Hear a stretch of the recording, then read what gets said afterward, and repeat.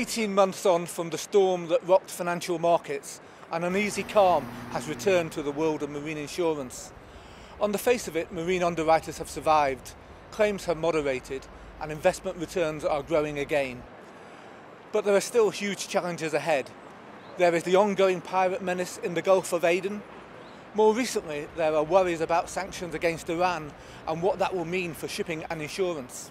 Ahead of the forum, we sought out the views of a number of industry experts. If any owner can break even at the moment, that in itself is a fantastic result. Ship owners, if they reduce the value of their ships by 50%, are learning that you're not going to get a 50% reduction in premium. You might get 5% if you're lucky. The fact is that if you have a ship worth 30 million or 50 million dollars, the cost of repairing a crankshaft is going to be the same. So whilst owners want reductions, they're going to be disappointed. In case you have a total loss uh, and you will get only from the uh, insurer uh, 50 or 60 percent, uh, this is not enough uh, even uh, to, to cover the mortgage of the vessel. I suppose top of, the, of everyone's agenda at the moment has to be piracy and concerns for uh, human life and those issues, obviously, and that's getting a lot of publicity. P&I clubs are being very quiet on the issue of piracy. Um, perhaps they're keeping their heads down because they're worried about a flow of claims from crew members who are trapped on the vessels for long periods of time. Piracy, clearly a complete nightmare, but the market is responding by providing K&R cover, professional negotiators and things of that nature. So I think the market is doing what it can do there, uh, but it is a difficult issue.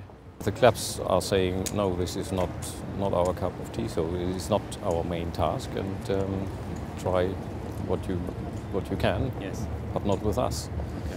So um, it would be good if the clubs would uh, put a bit more attention to that.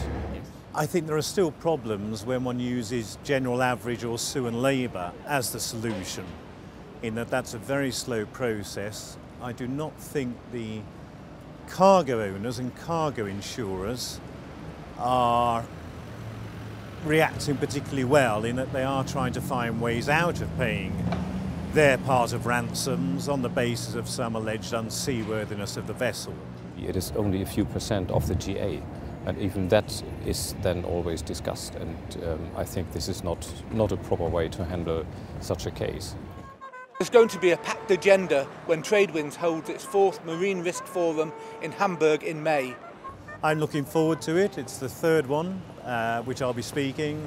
It's always an enjoyable event. I like Hamburg as a city. I look forward to being there, meeting German ship owners and other people from the shipping community. Absolutely, I'm looking forward to it. I think it's going to be a very exciting, lots of very interesting topics, a very exciting forum. I will be joining you in Hamburg for the Tradewinds Forum and I very much look forward to it. Yeah, I, I would be happy to, to join you during Marine uh, Risk Forum. Yes, of course, I will attend to the Marine Risk Forum in Hamburg and I'm very looking forward to attend to that.